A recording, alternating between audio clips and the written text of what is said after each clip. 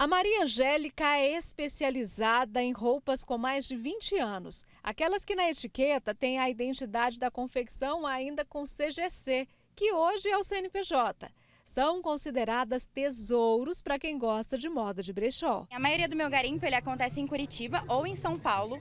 E a minha pegada é mais a peça vintage, então eu dou sempre prioridade para as peças que tenham CGC que é Cadastro Geral de Contribuinte, aquilo que a gente usava antes do CNPJ, né? Tipo, até 1999 a gente usava o CGC. Ou seja, as minhas peças, elas têm no mínimo 22 anos. O mercado de roupas usadas, sejam elas vintages ou atuais, está tendo uma procura muito grande em Goiânia.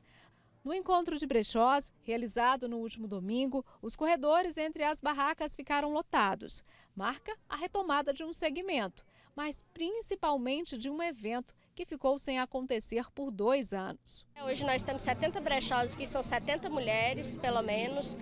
São mais de 200 mulheres participando e organizando esse evento. Então, é, é um evento que acrescenta muito na renda dessas mulheres. Muita gente vem em busca do preço atrativo. Tem muita coisa até por cinco reais, como roupinhas de crianças. As peças, né, elas não duram bastante, né, no guarda-roupa infantil. Então há essa troca de roupas. Então a mercadoria, ela tipo foi pouco usada. E aí o preço ainda é ótimo, maravilhoso. Então perfeito. Aqui também tem roupa de marca. Essas que a Fernanda e a Laura estão vendendo, por exemplo, são mais da pegada jovem. É um desapego do armário delas para poderem comprar mais. Como a gente quer comprar umas roupas novas, né, quer mudar o guarda-roupa, a gente acaba que vem e traz as que a gente já tem, né, para trocar por roupas que a gente quer. A Neuzirene ama esses encontros. Na primeira voltinha, comprou quatro vestidos pagou 120 reais por todos. Esse aí eu já comprei de cara, cheguei cedo, né, já comprei logo.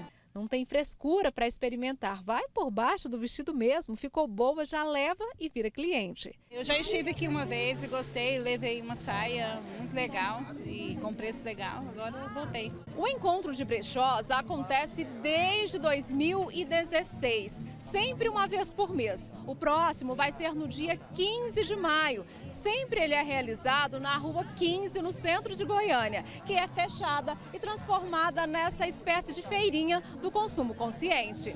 Aliás, essa tendência de dar mais valor às roupas com looks sustentáveis ficou ainda mais em alta na pandemia e, pelo que tudo indica, não vai sair de moda. Desde o evento é, de 2016, esse evento tem crescido muito e a gente tem visto que o goiano ele está cada vez mais aberto, mas a pandemia deu uma acelerada nessa consciência. Acho que o poder aquisitivo diminuiu, então é uma roupa mais acessível e a consciência aumentou também. Então a gente está entendendo que desperdiçar, jogar fora, não está com nada. E o brechó é o campeão do reuso. Então o brechó está em super alta, não só em Goiânia, mas no Brasil e no mundo inteiro.